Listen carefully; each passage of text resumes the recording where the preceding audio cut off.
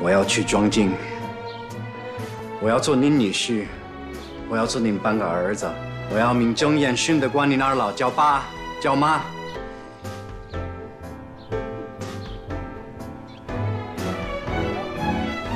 你和庄静，这怎么可能？妈，呦呦，你先别叫我，你把这事说清楚了。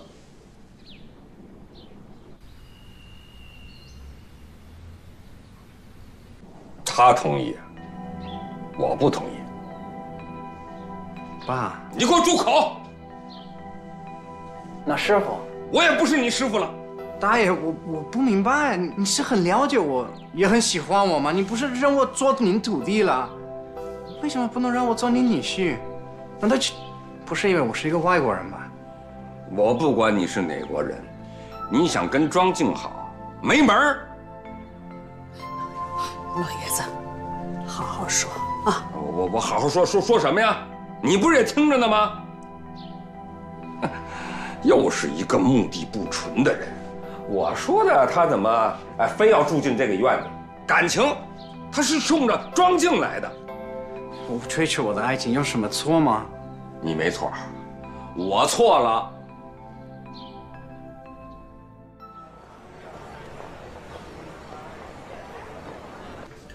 炸了吧？我根本想不到，平时我师傅对我多好，可他一听这件事情，他立马就翻脸了，简直是暴跳如雷，跟石子似的，这就给我轰出来，他让我有多远走多远。我就少嘱咐了你一句，你就把事儿办砸了，你是真笨。我什么笨啊？我就按你说的做，我直接跪那儿叫爸妈。我说什么错了？叫爸妈没错啊，可谁让你说对庄静一见钟情的啊？是因为看上庄静了才不起诉我的？谁让你说为了庄静才住进我们家的？事实就是这样。要不说你傻呢？你这么一说，不是明摆着住进我们家怀有目的吗？啊，老头说的没错啊，你就是动机不纯。换谁也这么想。我师傅不会因为这个跟我生气，不反对我跟庄静，好吧？刚才我哥不说了半天了吗？老头老太太反对，打根上起，确实因为你是外国人。你说一外国人娶了庄静，你大老头能有面子吗？你再把庄静带到德国去，那老太太能乐意吗？能不反对吗？您再来个动机不纯，那不逮着机会说死你啊！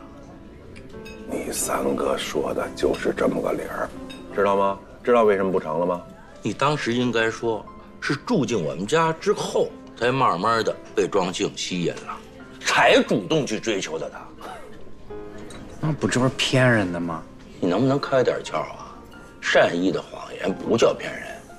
也不说谎啊，反正我就知道事情该是什么样的就是什么样的，该说的我都说了。如果我师傅和大妈不接纳我，那我就没辙，我只能继续努力呗。哎，戴维，听大哥一句话，我们家现在都乱成一锅粥了，你就别再什么继续努力了，你这叫添乱。如果你真要这么做的话，我只能送给你两个字儿：没戏。我爱庄静啊。和爱我师傅和大妈和你们一家人，我就希望能跟你们在一起生活在这个城市啊！所以无论如何，我必须让我师傅和大妈接纳我。想法都挺好，可你得挑对时候啊！啊，算了，我再帮你出个主意吧。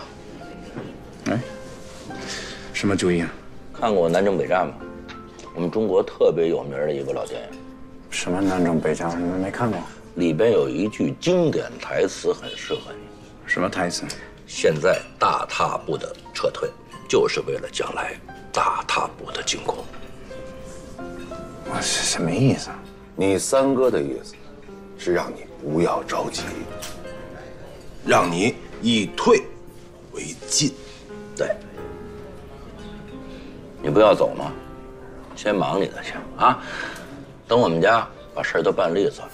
老头老太太心情不错的时候，我们哥俩帮你煽乎煽乎，啊，那时候你再杀个回马枪，不就结了吗？嗯有道理啊。哎哎哎，我们哥俩只是提个建议啊。嗯，具体该怎么做，你必须要跟庄静商量好。我已经跟他约好了，待会儿我就去见他。哎，你可得跟他商量好了，别回头庄静一看老头老太太态度，他再来个退堂鼓，那你就鸡飞蛋打了。会吗？会吗？你把那妈去了，把爸加上，会，啊？哎哎，你觉得我会吗？我觉得不会吧，但是我心里直打鼓呢。其实呢，我既然答应了你，这之后发生的一系列事情，早就在意料之中的。他们拒绝就对了，不拒绝我才觉得奇怪。哎，看来我还是对中国人的了解不够深入了。再加上我们家最近乱得很，你又没经过我的允许，你在我大哥和三哥的撺掇下，你就贸然跟二老提亲去了，时机不对，被拒绝是必然的。那我现在该怎么做呀？我觉得吧，我三哥说的也不是没有道理。你确实可以先离开一段时间，等我们家彻底平静了，再慢慢的去做二老的思想工作。毕竟你为人好，我爸妈又喜欢你，将来能够接纳你做他们的女婿，也不是没有可能的。那我知道该怎么做了。静儿，你跟大卫到底是怎么回事啊？大卫不都跟二老说了吗？他喜欢我，我也觉得他是一个可靠的、可以托付终身的男人。我也喜欢他，就这么回事儿。庄静，你说你喜欢谁不好，非要喜欢一个外国人？外国人怎么了？您这观念太陈旧了。哎，远的不说，就拿咱北京城来说，那成千上万的异国情侣结合，不也生活的挺幸福的吗？别人啊，我管不了，反正让我接受一个外国人当女婿，我做不到。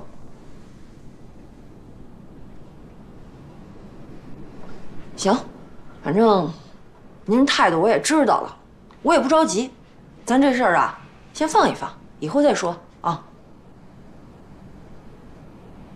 那我先回去睡了，妈，你也早点休息啊。爸，我走了啊。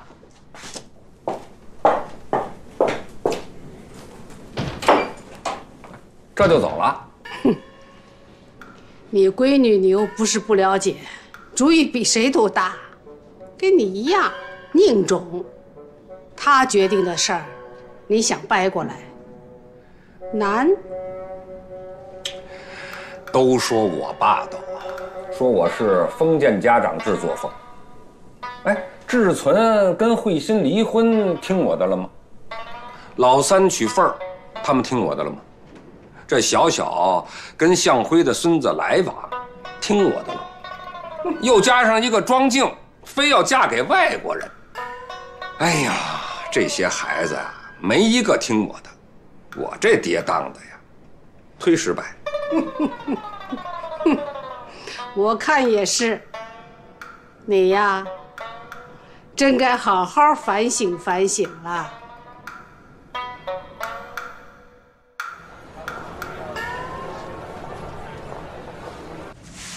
哎，凤儿，嗯，我们可听说了啊，听说什么呀？你们家志斌那一碗面馆现在火的不得了啊！就是啊，凤儿姐，志斌哥那个面馆现在都成网红店了，去他那儿吃面的人都乌泱乌泱的。哎，我三哥那可厉害了，每天只做一百碗面，这都得预约呢，而且啊，有钱都吃不到。你们别替他煽乎了，他哪有这么厉害呀？这还真不是煽乎啊！你们家志斌这回可是上道了，不是有那么句话吗？浪子回头金不换，人家出去了，怎么着？你还不让你们家志斌回家呀？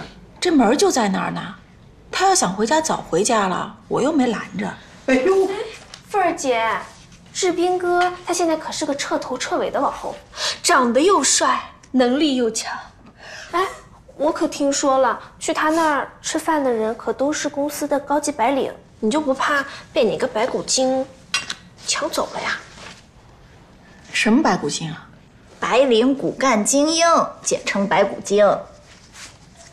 不可能啊！我们家斌子呀，虽然一身的毛病，但就一点好，没这么多花花肠子，对我呀绝对忠诚。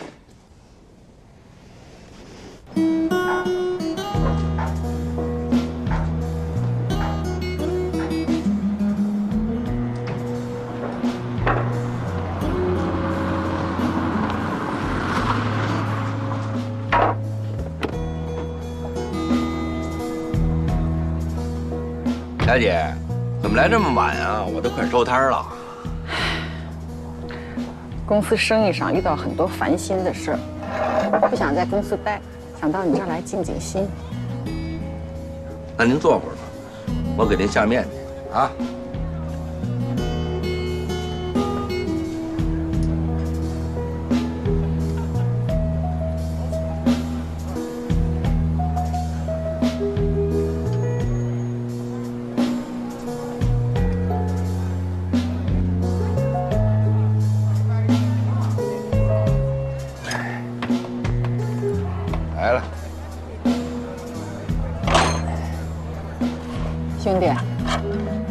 跟姐聊聊天。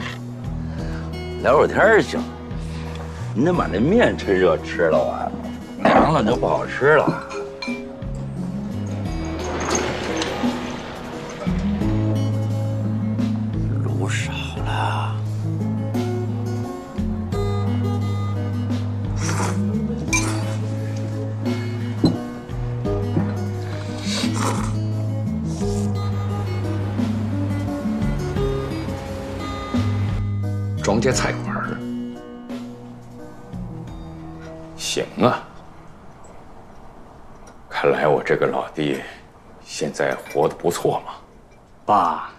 庄家的情况大概就是这样。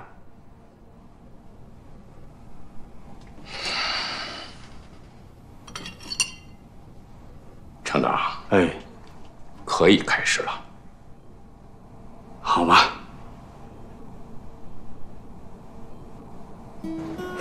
再给您添一碗。够了。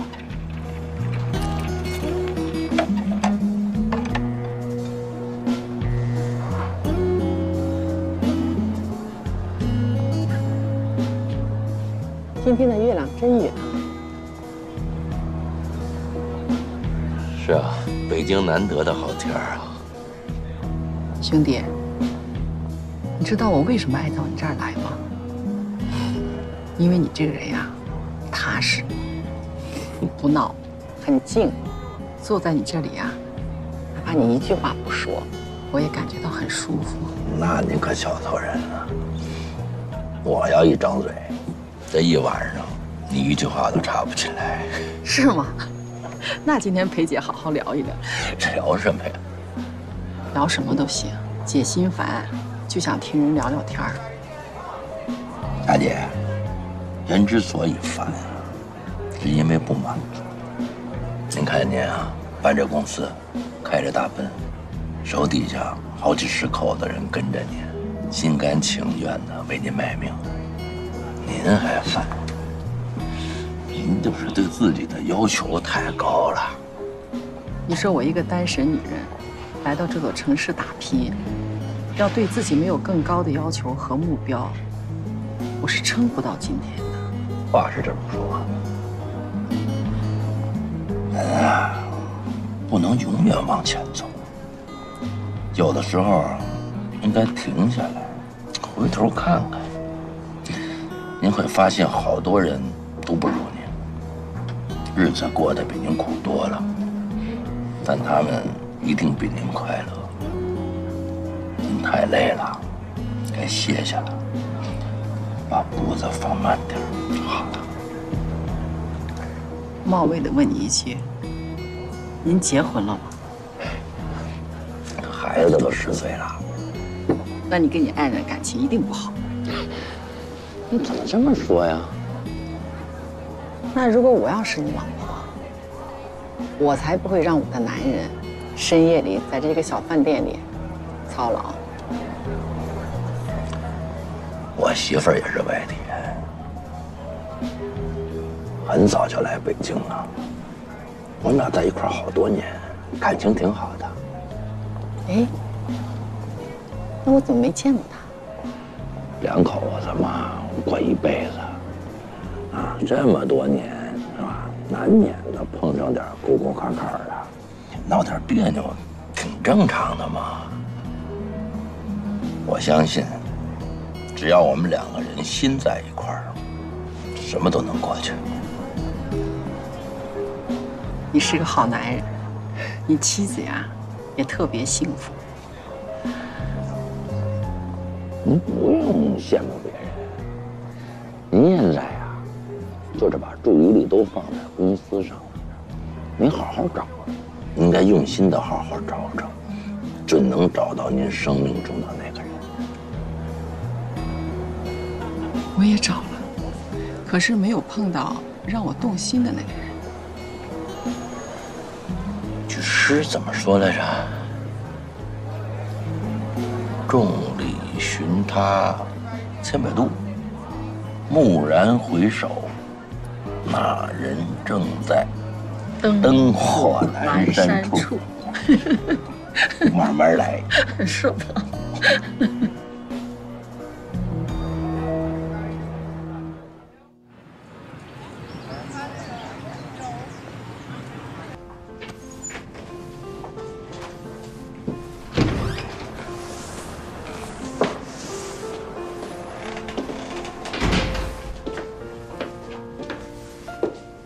对不起，先生，我们还没开始营业呢。啊，我找你们老板周福顺。啊我们老板在那边。啊，哎，我就是周福顺，您哪位？啊，我呢叫向成达，是向东的父亲。哎呦，这您好，您好，你好，这什么风把您吹来了？您您快坐，您快坐。好，来来，拿杯咖啡来。您您坐坐坐。嗯，谢谢，你喝咖啡，谢谢。呃，顺子老板，哎，首先感谢这两年您对我儿子的照顾。哎呀，这不是我对他照顾，是他帮了我太多的忙了。您太客气了。啊，我今天来呢，是有件事儿要跟您谈。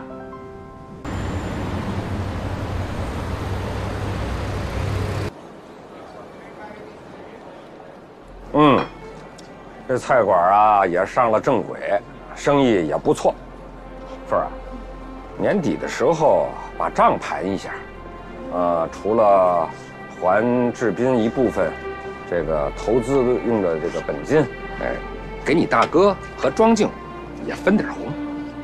爸，您放心吧，我早就算好了，亏不了大家。好，这就好。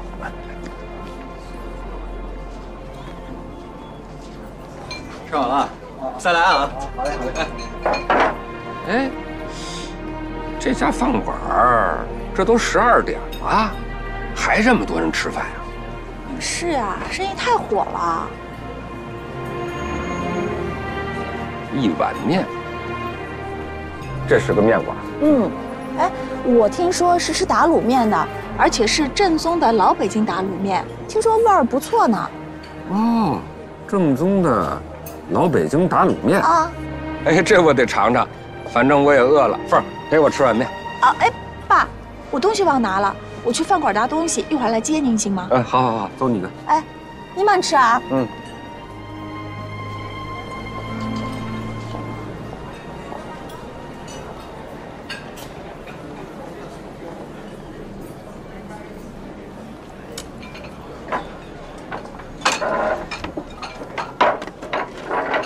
小伙子，哟，大爷，给我来碗面。您要吃面啊？废话，坐这儿不吃面吃疯啊？那您预约了吗？什么？吃碗面还要预约？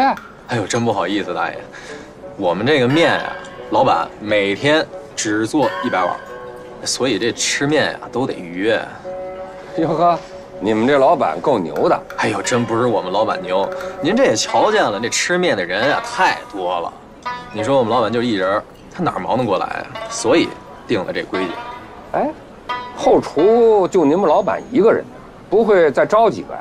嗨，我们老板说了，这面呢是用那祖传秘方用心做的，你找别的厨师那根本做不出这味儿来。哦，哎，小伙子，你看我这么大岁数，这么冷的天儿啊，哎，这这这这这都几点了？饿了，想吃碗面，能不能跟你们老板说一说，通融通融？哎，给我做碗面，让我尝尝。行，那您先歇着，我给您收拾去。哎，拜托了。好嘞。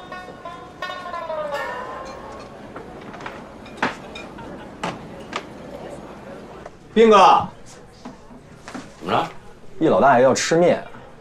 易老大爷啊，但是他没预约。多大岁数？我看着怎么也得七十多岁了。七十多岁老大爷也不容易。等着啊。哎，把这个先给他。哎，啊，好嘞，好。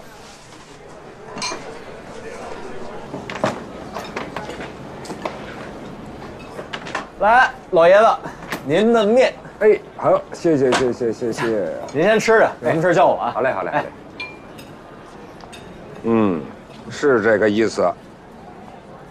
花椒油盖卤。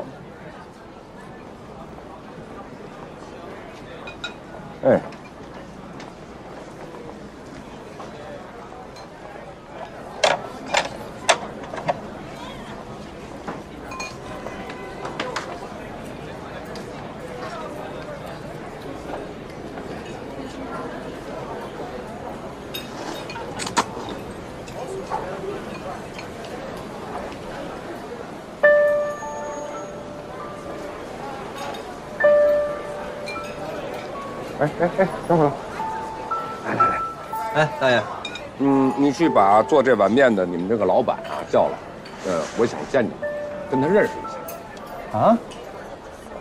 哟，我们老板正忙呢，你这出不来啊？嗯，那行，那我就在这儿坐着等着他，等他忙活完了，让他来见我一下。行，嗯。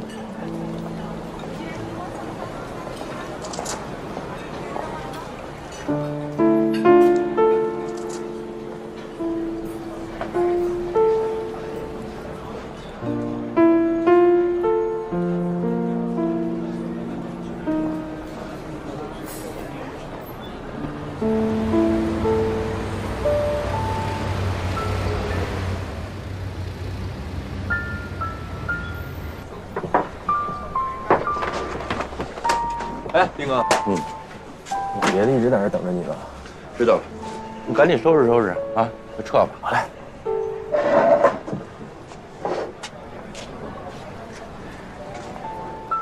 爸，怎么是您呢？行啊，庄大老板，架子够大的。我坐这儿等你，快猫一个钟头了。刚才不正忙着呢吗？我也不知道您来啊。我知道您来，我不得屁颠儿屁颠儿的过来见您。别贫了，这面呢，我刚吃了两口，我就知道是你小子做的。我这点本事不都跟您学的？要说做打卤面，可这北京城也没几个人做得过你。嗯，一碗面，名字取得不错，还坚持自己做。嗯，儿子，你真是用心了。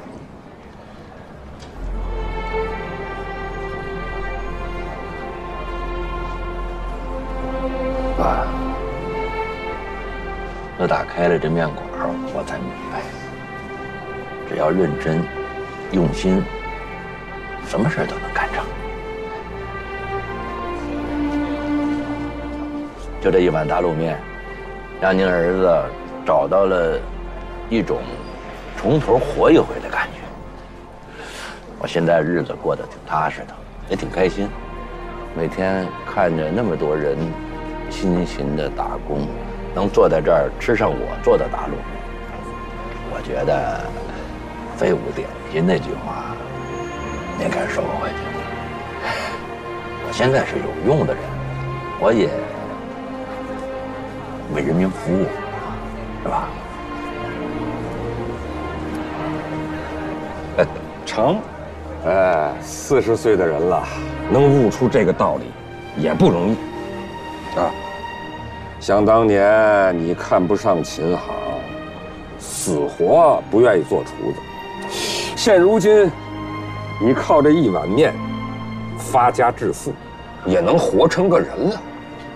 爸打心里为你高兴啊，为你骄傲。爸，您能这么说，我真挺高兴。你呀，还别高兴太早。我问你啊，你这面是怎么做的？就按你那做法做的。这面和的紧了点盐放的多了点另外啊。你不能光用斑鸠吊汤，加上一只老鸡，吊成清汤，味道就会更好。您瞧，我怎么把吊老鸡那事儿给忘了？光想着斑鸠呢。还有爸，这个和面放盐，就这度我老拿不住。嗯，这说明你还没到火候。我告诉你啊，好厨子全靠手里这把盐。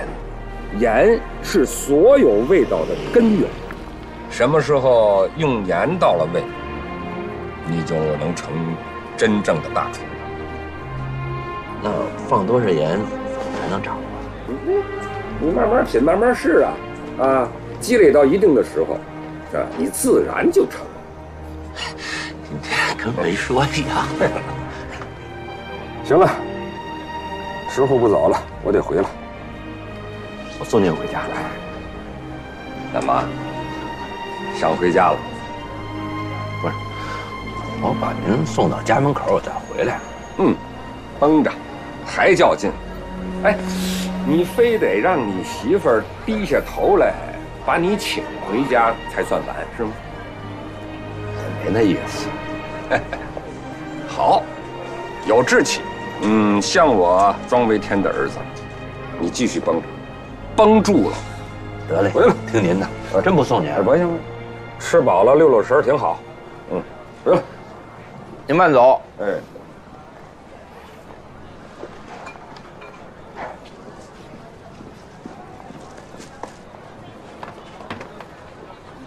行了，出来吧，别躲着了啊！跟我斗心眼儿，你还嫩了点儿。爸，我是想让你看看呀，斌子现在出息了，让您高兴高兴。嗯，面做的不错，虽然差了点火候，已经很出类拔萃了。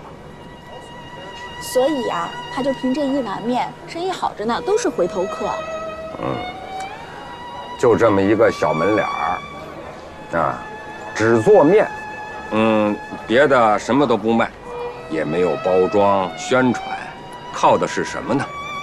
靠的是手艺，靠的是真诚，靠的是他亲手做出的一碗一碗的面，凭的就是认真、用心、踏实。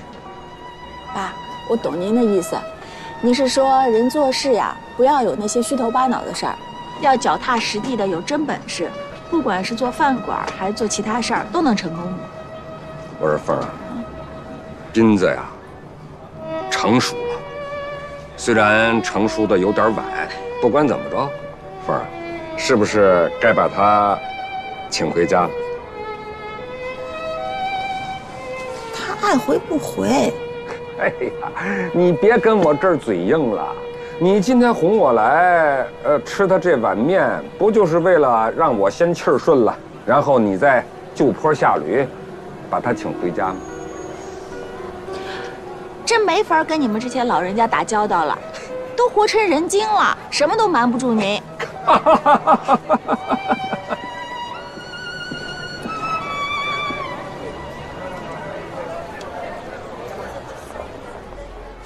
志斌在外面开面馆，这么大的事儿，家里家外这么多人啊，没一个人跟咱们吱一声，瞒了个严严实实，不像话。这也不怪大伙儿，嗯，他们怕在我面前提到三儿，我不高兴呗。不跟你说，不能跟我吱一声吗？那跟你说不等于就跟我说了吗？你知道了，我还能不知道吗？做打卤面，可得想得出来。长那么大，他也没吃过这个苦啊。怎么，心疼儿子了？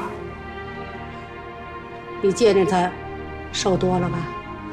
红光满面，精神抖擞。嗯，不像话。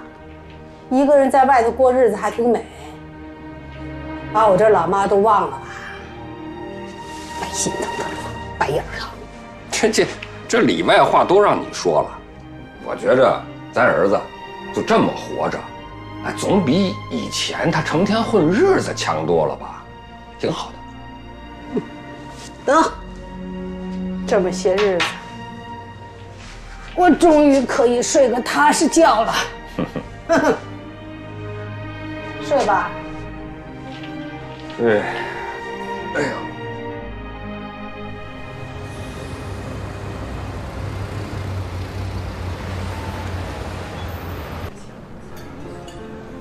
什么什么？酒吧不干了？嗯，嗯，我打算就到这个月底吧，把这就关了，干点别的营生。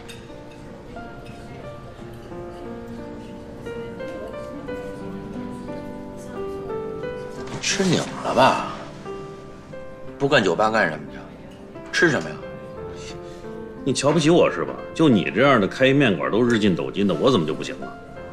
我这么多年也有点积蓄，我也打算开个公司，开个饭馆什么的。顺子，就甭逗了，不是我看不起你，你打小就是一个吃嘛嘛香、干嘛嘛不灵的主。亏着了，有这灵湖的房子，让你开个酒吧度日子，不干了。走出这门去，就现在你能干什么呀？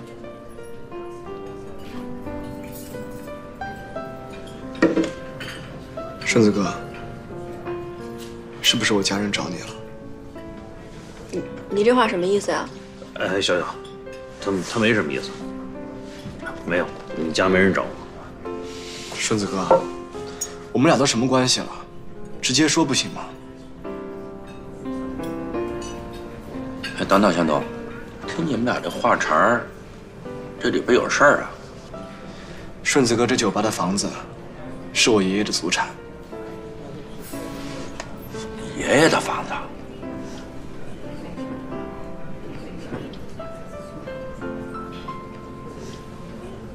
顺子，我知道这房子不是你的，嗯，可这房主这么多年没露过面啊，感情是你爷爷的。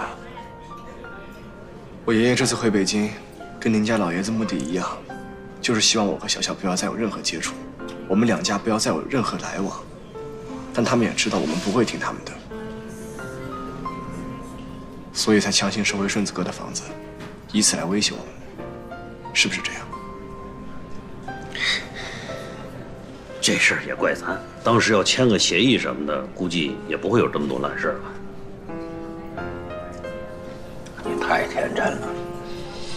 就算当初你们签了租房协议，可房本上写的不是向东的名字，是他爷爷。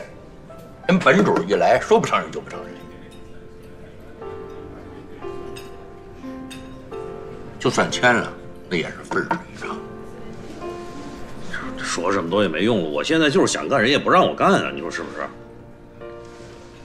顺子哥，你放心，只要我向东在，你这酒吧不会关门。哎，向东，你你等会儿我，我我跟他走了。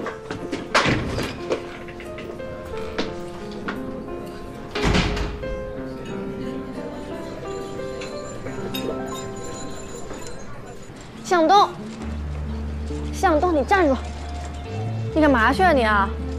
他们太无理取闹了，拿我没办法就逼我的朋友，哪有这样子的呀？我跟他们说理去。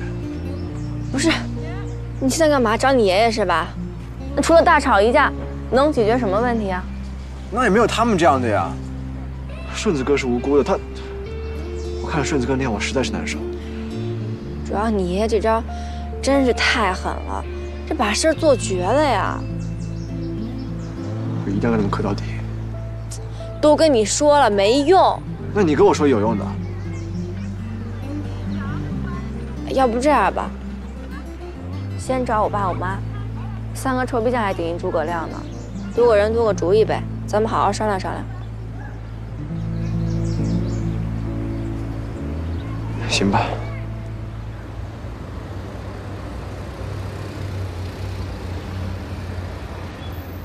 嗯，啊，来涮点这个吃。行了，别光顾着吃了，帮我想想办法呀。哦，哎呀，我就没见哪个家长把孩子往绝路上逼的。你看，你看，你看，我跟你说这话有什么意思？说点有用的行吗？嗯，你说事儿到了这地步吧，还真不好办了。不过有句俗话，解铃还须系铃人，必须啊，要把他们原来的疙瘩给解开了，你们俩这事儿才能解决。爸，你这话什么意思啊？这事儿啊，只有一个人能办好，谁啊？你奶奶。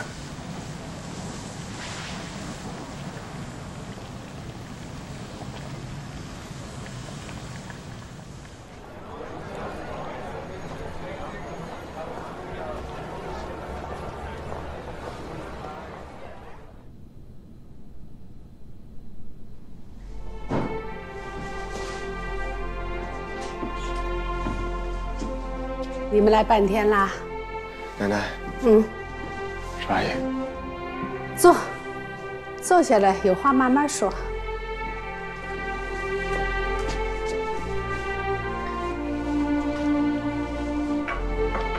奶奶喝茶。嗯，来的路上啊，你爸妈跟我把事情说了。向东啊，你这个爷爷啊，这么多年过去了，可他的脾气秉性一点儿没改，做事儿还是这么绝，这么狠。奶奶，让您费心了。嗨，你们的事儿，我本不想费心，可现在这事儿牵扯到了无辜的人，顺子也是我看着长大的，我不能让他受到伤害。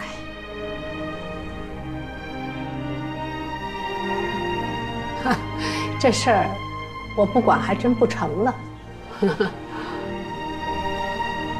可是奶奶，这两位老人都叫这么多年纪了，您怎么化解呀？万事都有根源，我有办法。向东，给你爷爷打个电话，就说金妍我想跟他见一面。这茶楼不错，请他明天下午两点钟，他自己一个人到这儿来，我在这儿等他。好，奶奶。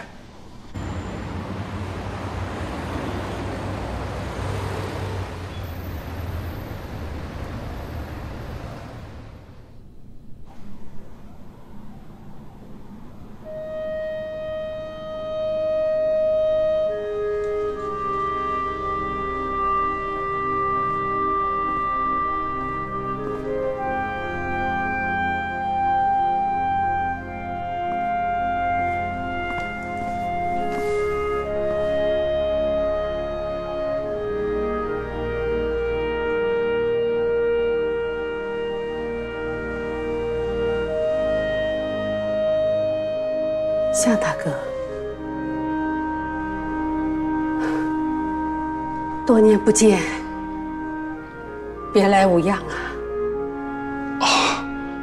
老了，老了。我们都老了，您坐。哦啊，好好。大妹子，你可不见老啊，你还是那么光彩依旧。哎呀，谢谢大哥夸奖，